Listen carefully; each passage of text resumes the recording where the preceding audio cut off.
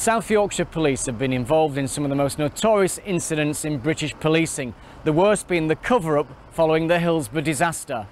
Tonight, Dan Johnson re-examines the death of a football fan at a match here in Rotherham 16 years ago and his family's long search for justice.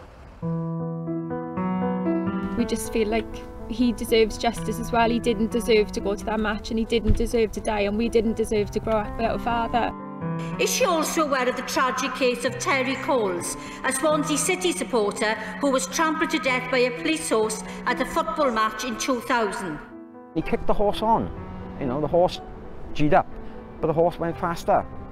You know, it only took a couple of strides and, and he hit Terry. I think the real truth needs to be examined. Terry Coles, a father and a football fan who lost his life following his team. Terry died after being knocked down by a police horse here in South Yorkshire just minutes before kick-off. Swansea City were playing Rotherham United in the last game of the season. At Terry's funeral, his wife Christine and his two young children were joined by hundreds of football fans. Tell me a little bit about Terry for the people who don't know much about him. What was he like? Um, very sociable man. He enjoyed the game of football and he had two lovely children, his Natalie and Matthew. Um, that was his main sort of pleasure, supporting his team.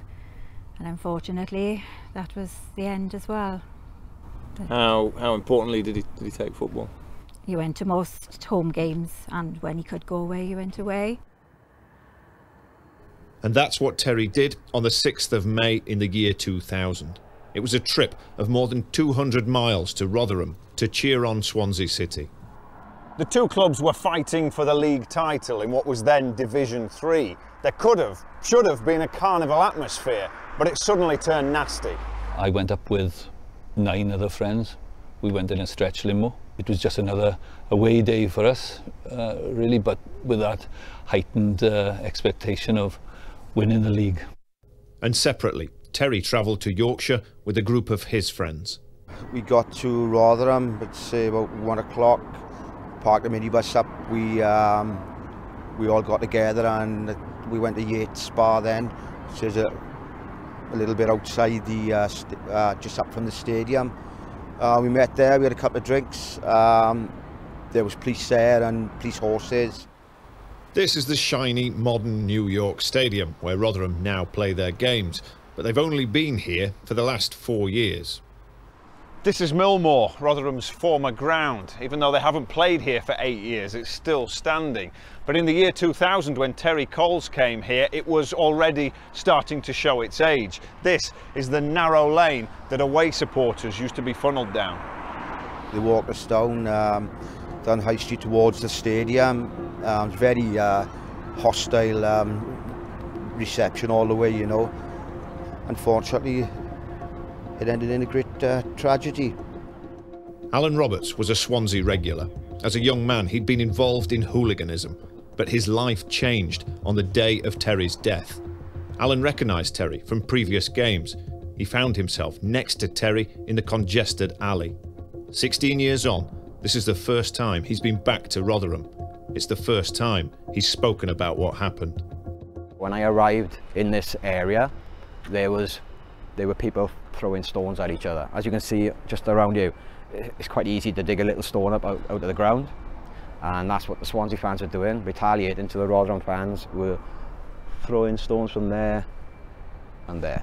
So we got to the um, the lane. Uh, that's where the problems occurred. There was um, I think there was a pub, the Beacon, and um, people were throwing glasses from there. Just uh, give me a sense of what it was like then when you moved down here. Yeah, well, you know, I, I ran down here to get a, to get away from all the trouble because I, you know, I didn't want to get arrested. I'd been arrested previously at football. I didn't want to get arrested anymore.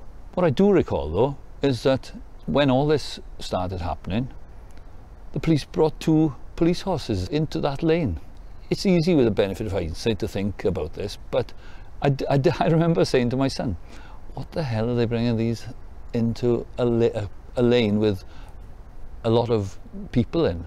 He came in the top of the lane there and they were walking, the police horses, just normal, you know, walking.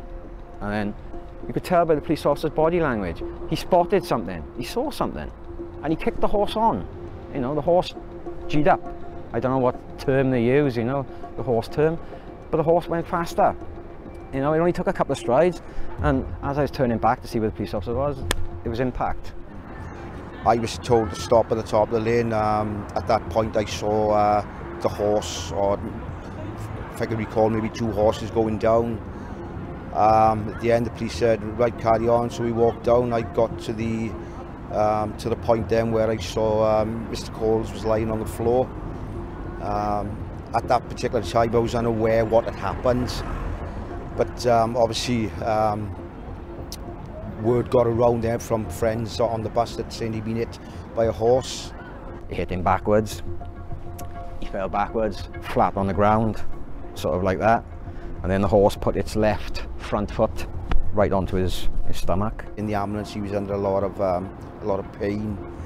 Um, the the actual injury to his stomach was quite prominent because he kept uh, pulling his t-shirt up, and it, it, it was obvious from then that he was in a bad way. You know, he was uh, in and out of consciousness and you know screaming with pain when he came round.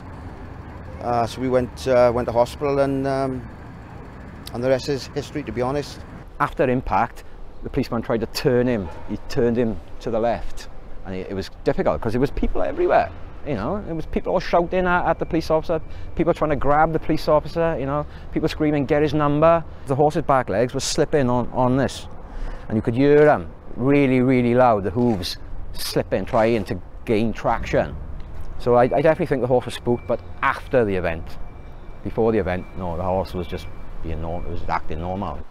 I think as the phone calls progressed, you just felt it was getting more and more serious and he died of, you know, bleeding, external bleeding and there was just nothing they could do. They, they tried their best to save his life, but unfortunately he died on the table.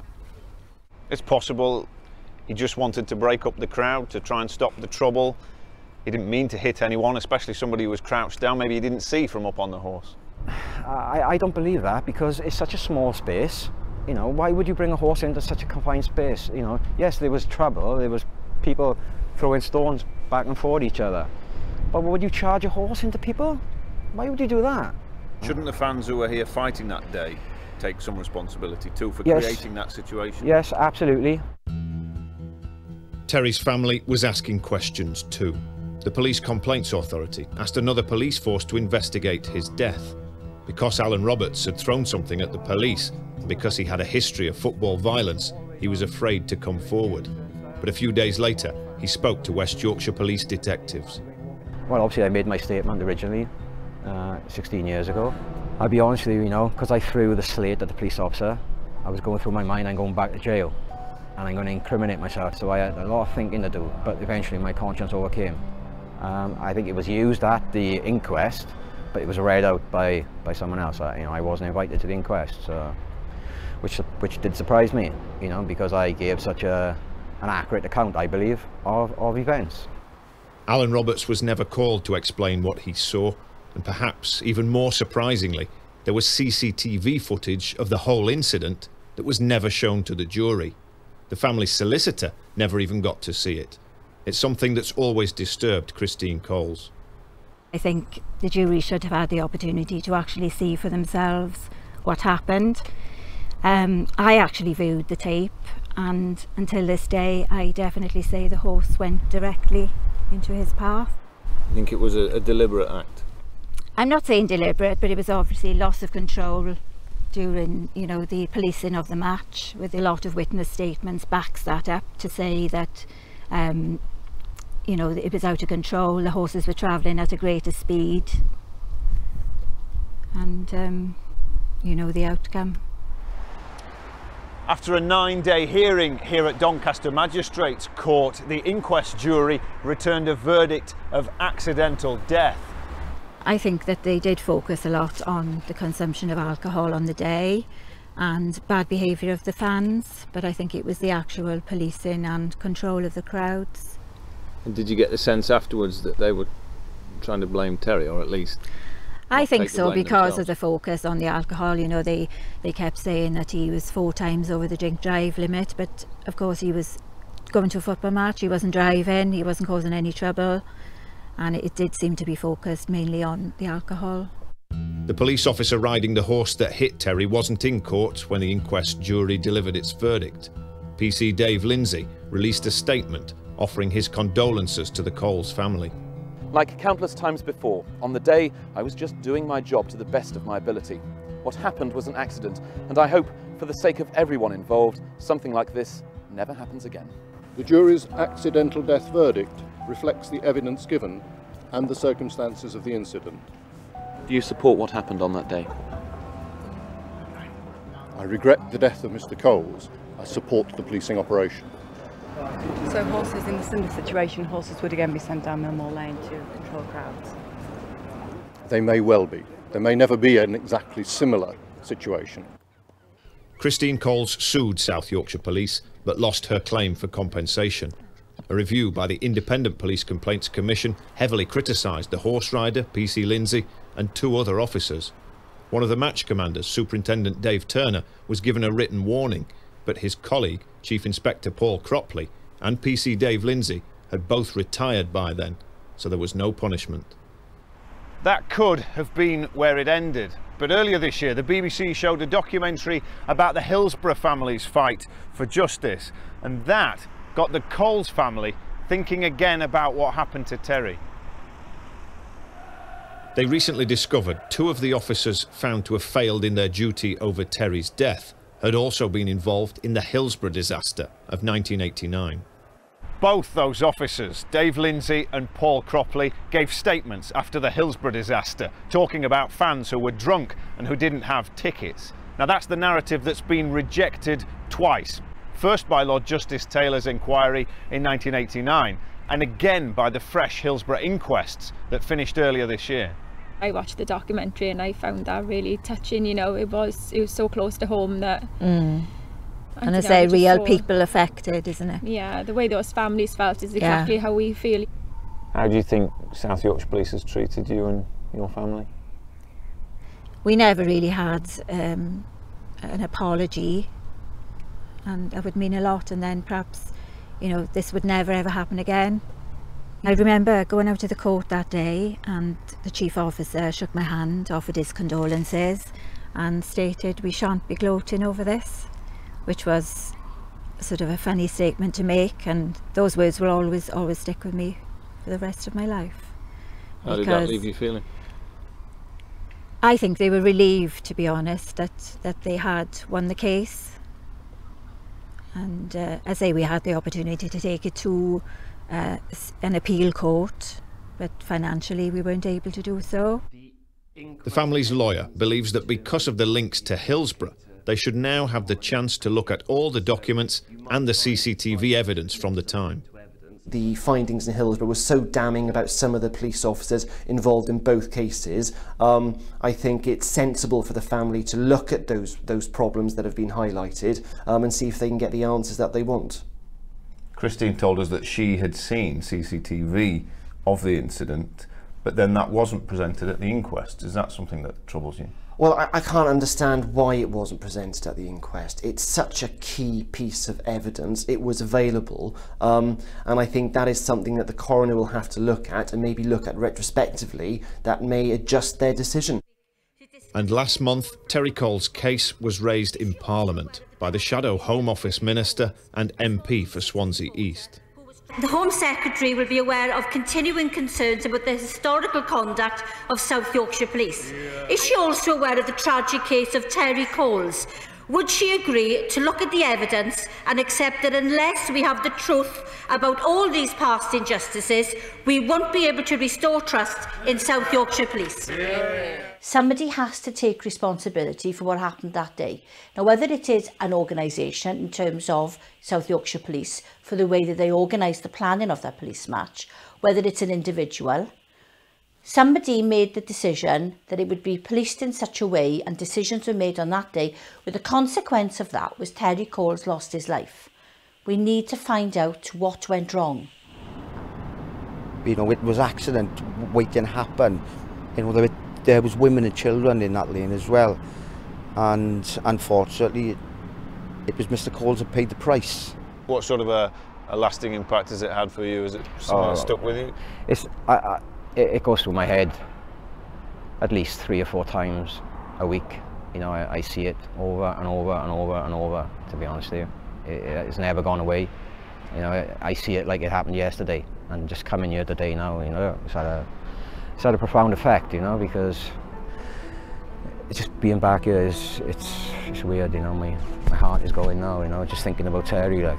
It won't be able to move forward until we have uh, the full truth about Orgreave, about Hillsborough, about what happened in Rotherham. Also, in terms of uh, the case of Terry Terry Coles, you know, people need to know what happened so that we can uh, learn from the um, from the past and bring people back together. And how do you feel South Yorkshire Police have responded so far? Um, not as responsive as I hoped because we did approach them back in May and we, we're still really waiting for an outcome from it or you know they've said they, they are considering the evidence but we just haven't had any sort of concrete response from them as yet. We asked South Yorkshire Police for an interview. They declined, but gave us a statement saying they're now working with the family's legal team to gain a better understanding of their concerns. The Independent Police Complaints Commission told us it has considered the case, but there are no plans to review the original inquiry.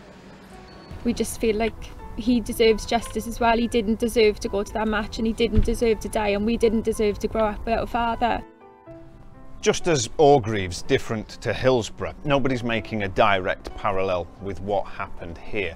But you've got a football match, you've got South Yorkshire Police, and you've got officers' accounts of what happened at Hillsborough that are already being re-examined. So perhaps it was inevitable that fresh questions would be raised about what happened to Terry Coles.